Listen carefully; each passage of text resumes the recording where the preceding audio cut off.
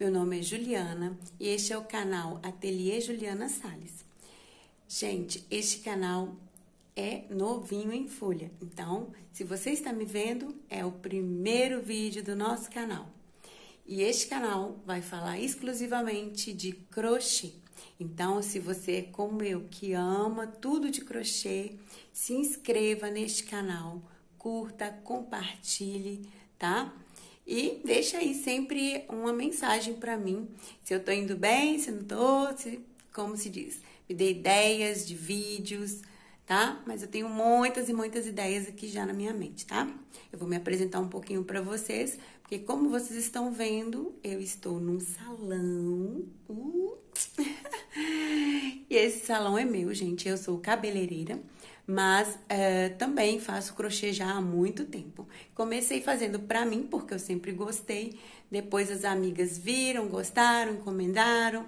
E aí, com a pandemia, né, a gente se viu aí numa situação um pouco complicada, né, e dinheirinho extra seria bom. Então, aí eu comecei é, a focar mais no crochê, até porque eu tive o Covid, tive que ficar algum tempo afastado, a gente teve lockdown na cidade, ficamos sem poder ter atendimento presencial. Então, tudo isso agregou, assim, né, mais um, um, uma vontade de, de voltar a tecer é, e fazer o, o crochê, né? Então, eu vou mostrar para vocês é, algumas dicas, ou dar para vocês umas dicas de como eu faço aqui para divulgar o meu trabalho, entendeu? vou mostrar para vocês a minha pronta entrega, pelo menos uma parte dela, porque é, e, tipo assim, e dar uma ideia para vocês de como é importante, né, a pronta entrega. É, porque assim, aqui para mim, como eu tenho salão, os meus clientes chegam, vê os produtos, mesmo que eles não levem aquele uh, joguinho, aquele tapetinho, porque, ah, eu quero de outra cor, quero mais claro, quero mais escuro. Isso também é muito importante, gente. É bom a gente estar tá fazendo é, trabalhos bem diversificados, porque tem gente que gosta das cores claras, tem gente que gosta das cores escuras, tem gente que gosta do colorido, como eu amo colorido. Então, é importante você ter na sua pronta entrega uma variedade é, de cores e modelos, tá?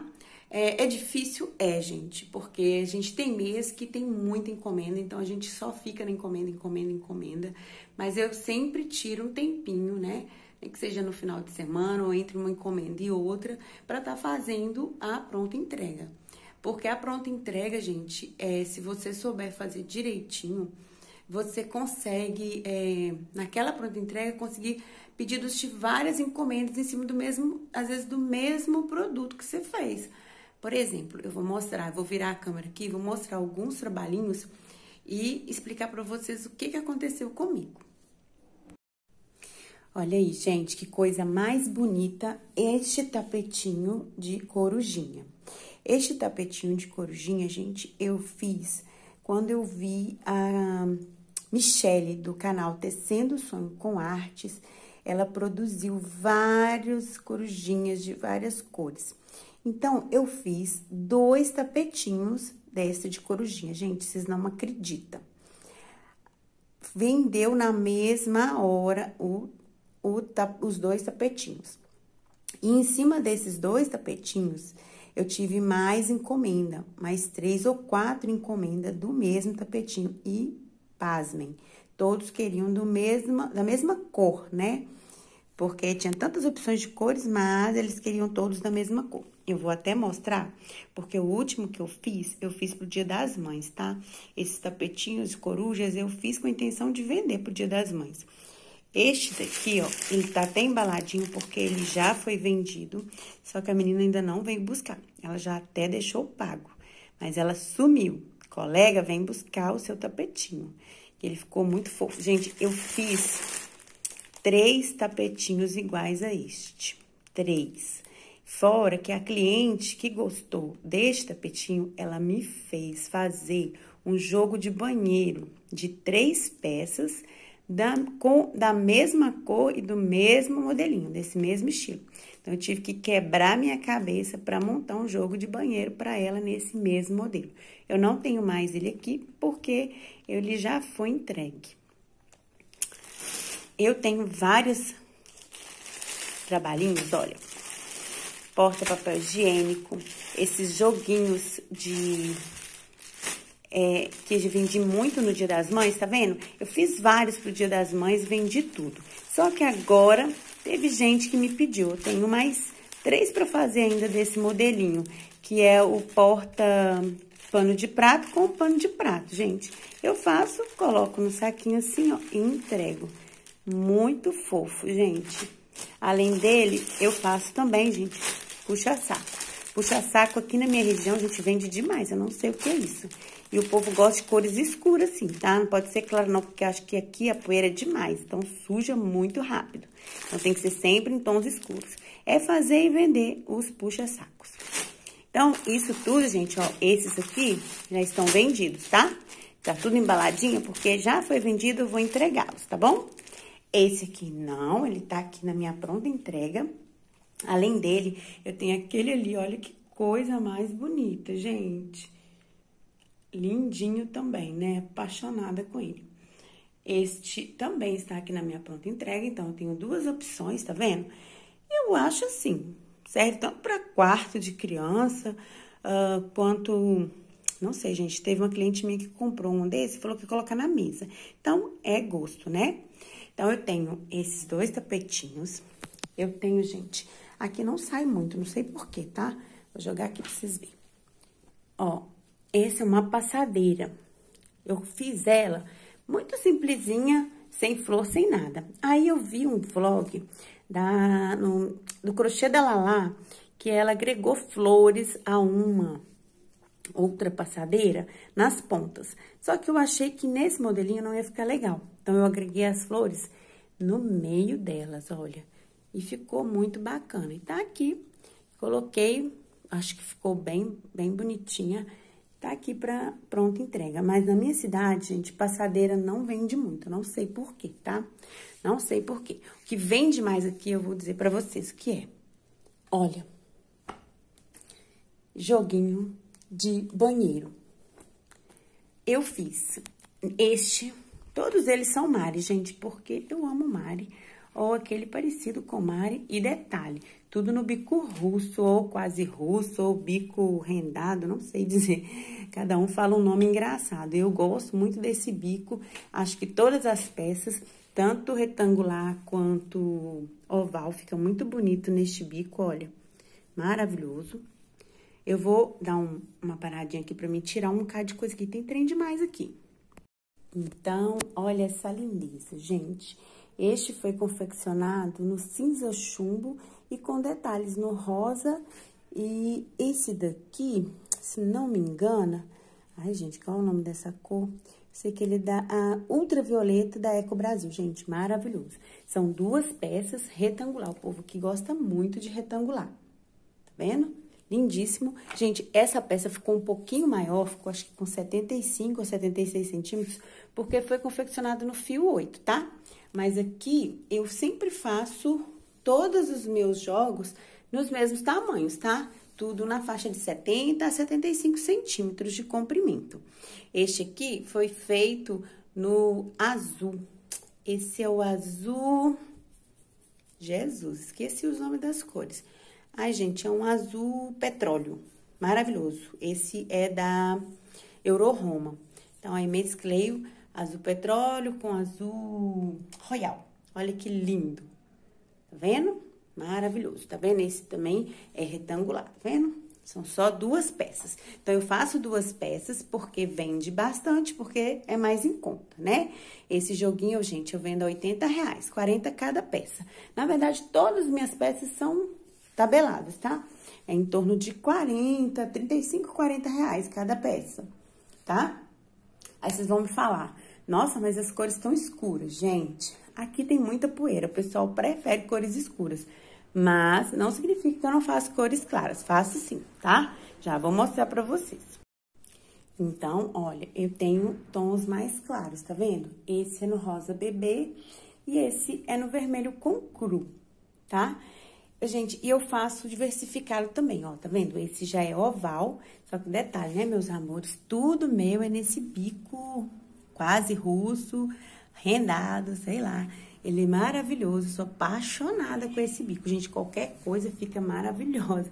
Então, assim, eu faço vários tipos de, de joguinho, mas quase todos é o mesmo bico, gente. Não sei o que acontece, mas quando eu percebo, eu já tô fazendo esse bico. Então, olha, e eu faço diferente também, olha. Esse tem a tampa do vaso, as medidas sempre é a mesma, viu, gente? É tudo na faixa, os tapetinhos, tudo na faixa de 70 a 75 centímetros. Não gosto de tapetinho pequeno, tá?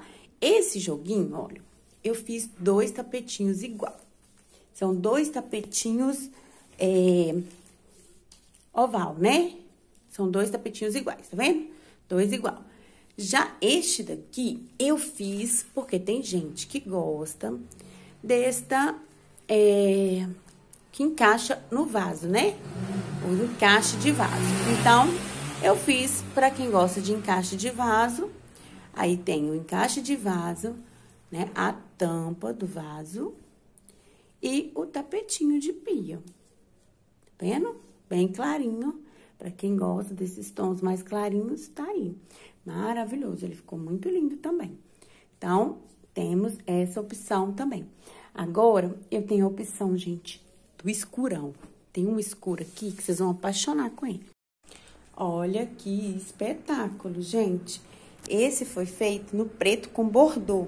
E é aquele hum, Vicenza ou espiral, não sei dizer, bumerangue. então, este ficou maravilhoso. E olha o detalhe glamuroso do peludinho. Gente, apaixonei. Eu nunca tinha feito nada com peludinho, tá? Essa peça e uma outra que eu tô confeccionando foi a primeiras que eu, eu usei o peludinho. E tô apaixonada, é muito bonitinho, fica muito gracioso. E é mesmo só para dar um charme, tá, gente? É, ainda não fiz, não tive pedido de peças todas no peludinho, igual sou doida para fazer essa base toda no peludinho, deve ficar muito maravilhoso, né? Então, esse também é um joguinho de banheiro, são três peças, tá, gente? Esses são dois tapetinhos oval igualzinho, do mesmo tamanho, 72 a 75 centímetros, e a tampa do vaso. As tampas do vaso, gente, eu também gosto de fazer mais ou menos tudo no mesmo tamanho, porque aí hum, não varia muito, né? Eu gosto de fazer elas maiorzinha, não gosto muito pequenininha, não. Entendeu? A não ser que a cliente me peça menorzinha, porque a tampa é menor, mas eu acho que hoje a maioria tem a tampa de vaso maiorzinha, né? Olha, gente, tem esse também, que é o Rafaela Camargo. E não sei se vocês repararam, mas olha, é o primeiro que não tem o bico rosto, tá? Mas ele ficou muito lindo, gente. Bem clarinho, ó, pra quem gosta, né? De cores mais claras. Ficou muito bonito. Também é um jogo de banheiro com dois tapetinhos, com 70 a 75 centímetros de comprimento e a tampa do vaso. Olha, eu faço assim com ajuste e é bem simplesinho mesmo, tá? Mas olha que fofo, que coisa mais bonita. Gente, e eu faço também muita coisa com sobrinha. Vou mostrar pra vocês aqui alguns que eu fiz com sobrinha. Este, por exemplo, olha que fofo. Este é a tampa do vaso. Deixa eu jogar aqui. Com a mão é difícil, viu? tampa do vaso. Encaixe do vaso. Vamos botar assim. Encaixe do vaso e o tapetinho de pia. Olha que fofo, gente. Também um tom bem clarinho, com a florzinha mesclado de vermelho, né? No cru e com detalhes, que isso era sobrinha, viu, gente? Eu tinha só um resto de bege e de mostarda. Gente, que mostarda tá uma dificuldade pra achar, tá? sei como é que tá aí na sua cidade, mas aqui tá difícil achar mostarda. Olha este que coisa mais linda, gente, só de duas peças. Era sobrinha mesmo, mas é de encher os olhos, né? Ó, fiz um biquinho bem simplesinho, gente, porque era sobrinha, então não dava pra fazer um bico muito glamuroso. E é nos tons de amarelo, gente. Tem um restinho de amarelo bebê, amarelo ouro, laranja e vermelho. Olha que fofo. Então, são duas peças né? O tapetinho e a tampa do vaso, feito com sobrinhas. Olha, parece um arco-íris. muito lindo, eu tô apaixonada, ficou muito fofo. E tem este também, que ficou muito bonito. Olha, laranja com... Eu pus cinza claro, era uma sobrinha de cinza claro. Um verde, esse verde acho que é verde Tiffany e laranja. São restinhos de Eco Brasil, gente. Então, só tinha uma sobrinha, eu fiz a tampa do vaso e o tapetinho, que na verdade, gente, ficou um tapetão. Olha que tapete enorme que ficou, ficou bem grande. Acho que ele ficou com 75 centímetros. E aí, gente, pra ficar mais bonita, eu fiz uma florzinha e coloquei. Achei que ficou muito fofo, olha. E também, gente, com sobrinha, ó, biquinho mais comum, tá bom? Porque a sobrinha, às vezes, não dá pra fazer uns bicos muito glamourosos. Porque quem, quem faz crochê sabe que o bico russo come uma, um barbante danado, né? Mas é maravilhoso. Agora eu vou mostrar pra vocês, não é a última peça, a gente tem muita coisa, mas não vai dar pra mostrar tudo, não. Uma outra hora eu vou mostrando o que eu não mostrei. Eu faço também, gente, muito tapetinho avulso, ó. Vou jogar aqui por cima. Tapetinho avulso. Por que que eu faço isso, gente? Eu vou explicar. Eu faço várias cores, vários modelos, e porque em cima desse, gente, muitas das vezes a cliente fala assim: nossa, que lindo! É, tem como fazer um jogo de banheiro, de cozinha, nesse mesmo modelinho, nessa mesma cor? Então, por isso que eu faço muito diversificado. Olha, esse é o simplesinho, também esse que foi feito com sobrinha, gente. Agora, repara uma coisa, gente, isso parece... Não, isso é marrom mesmo. Isso, isso é marrom, né? Agora, eu vou mostrar pra vocês uma outra peça que eu fiz com o marrom da Barbantes Lima, gente. Eu não sei se foi o lote, que eu não tive sorte, mas ele veio, gente, pera que eu vou mostrar pra vocês. Uma cor muito esquisita, olha. Olhando assim, parece que é a mesma coisa, né, gente? Mas não é não, gente. Olhando assim, de perto, que eu olhando, esse parece cinza chumbo e esse sim é marrom. É por causa da iluminação, tá? Mas ele não parece, olha, se eu colocar mais de longe, esse aqui é marrom também. Só que é, esse aqui é da Eco Brasil e esse aqui é do Barbantes Lima. Aí eu não entendi muito bem não, mas veio um marrom diferente. Mas eu, como adoro todas as cores, achei maravilhoso. Gente, esse também é um jogo de banheiro. Vicenza, ó, que lindo. Biquinho aqui diferente também para falar que eu só faço bico russo, né? Tem um biquinho diferente. Também é um joguinho de dois tapetinhos e a tampa do vaso. Maravilhoso. Olha lá, a tampa do vaso eu fiz no verdinho. Ó, que ficou bonitinho. Olha que fofo. Muito lindo, gente. Eu amo esse tom de verde água, muito bonito. E, não menos importantes, vamos lá, tem mais tapetinhos tapetinhos avulsos, ó, parzinho de tapete. Eu tô só com esse parzinho, gente, eu vou fazer mais um. vou fazer um vlog pra vocês de produção de outro tapetinho, um outro modelinho de tapetinho assim, duplinha, né? Que dá pra colocar no quarto, dá pra colocar onde quiser, pra falar a verdade, né? Muito fofo também. Eu vendo muito, assim, joguinho de dois tapetinhos. Agora, aqui, meu carro-chefe mesmo, além desse jogo de banheiro, tá vendo? Muito jogo de banheiro que eu fiz esse mês, gente. Aí você vai falar assim, nossa, mas será que vai vender? Gente, aqui tá precisando voltar às feiras, né? Se voltar à feira, meu bem, isso aqui vai rapidinho. Mas, de qualquer forma, o que que vale mais, gente? Ter o barbante empoeirando lá no seu armário ou ter as peças já prontas, porque quando alguém procurar, você já ter ela ali prontinha para o cliente levar, para presentear ou mesmo para seu uso próprio. Então, é, a minha dica principal aqui: faça, produza. Não importe que ela vai demorar a sair, divulgue bastante nas redes sociais, nos grupos é, de WhatsApp, é, pelo marketplace no Facebook, gente, divulgue. Porque é, e divulgue sempre, porque não adianta você divulgar uma vez no mês e falar, ah, não vende. Tem que divulgar todo dia, porque aí sim as pessoas vão ir vendo e vão tendo vontade de ter aquela peça, desejando aquela peça e acaba uma hora, né? Que o dinheirinho caiu lá, ela, oh meu Deus, ela não vendeu aquela peça, então vou levar para mim. Então é assim, gente, é não desistir jamais. Faça, produza. E se vocês estão gostando de todas essas peças maravilhosas, mais uma. Ai, esse aqui também, gente, eu fiquei apaixonada. Olha que coisa mais linda. Cru com marrom e amarelo. Maravilhoso, gente. Coisa perfeita. Eu apaixonei. Também esse aqui é um jogo, viu, gente? Eu vou só colocar aqui pra você ver. Mas é um jogo de é, cozinha tá? Com dois tapetinhos e uma passadeira. As minhas passadeiras, olha que fofo, gente. As minhas passadeiras eu faço, não dá mais pra colocar aqui, a gente tá uma zona. É, as minhas passadeiras, eu faço elas é, de um metro e vinte, um metro e trinta no máximo. Só faço passadeiras maior quando a pessoa me encomenda maior, viu, gente? No máximo é esse tamanho padrão. 70 centímetros a 75, os tapetinhos menores e o tapetinho maior, né, no caso a passadeira, eu faço é, de um metro e vinte, um metro e trinta, por aí. E toda, gente, eu coloco pérolas, tá vendo? Eu amo pérolas, acho muito lindo. Mas se a cliente me encomendar, eu pergunto antes, tá? Pode pôr pérola, que se a pessoa falar, não, não gosto e tal. Mas é uma pérola bem pequenininha, gente. Eu colo elas, elas, tá vendo? É bem pequenininho.